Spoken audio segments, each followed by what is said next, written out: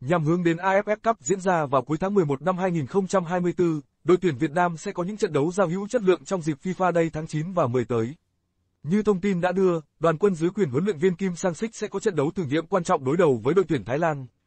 Ngoài ra, Liên đoàn bóng đá Việt Nam, VFF, cũng đang nỗ lực trong việc mời đội tuyển Nga đá giao hữu.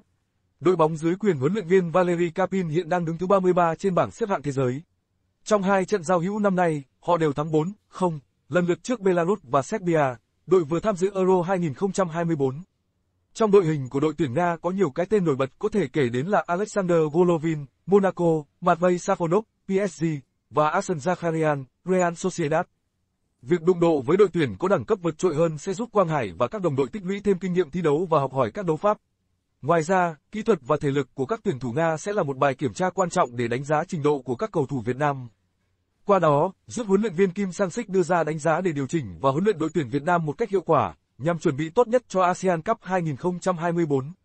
Theo lịch thi đấu, đội tuyển Việt Nam sẽ gặp đội tuyển Nga vào ngày 5 tháng 9 trước khi đấu Thái Lan vào ngày 10 tháng 9.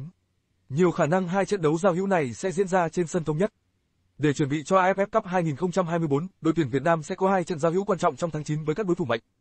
Ngày 5 tháng 9, thầy trò huấn luyện viên Kim Sang-sik sẽ đối đầu với đội tuyển Nga, đội bóng đang xếp hạng 33 FIFA, nổi tiếng với những cầu thủ tài năng như Alexander Golovin, Monaco, Matvey Safonov, PSG và Arsene Zakarian, Real Sociedad. Trận đấu này sẽ là cơ hội để các cầu thủ Việt Nam học hỏi và nâng cao trình độ, đồng thời giúp huấn luyện viên Kim Sang-sik đánh giá năng lực đội tuyển. Sau đó, vào ngày 10 tháng 9, đội tuyển Việt Nam sẽ gặp lại đội tuyển Thái Lan, đối thủ quen thuộc ở khu vực Đông Nam Á. Hai trận đấu này dự kiến sẽ diễn ra trên sân thống nhất, hứa hẹn mang đến những màn trình diễn hấp dẫn và kịch tính cho người hâm mộ.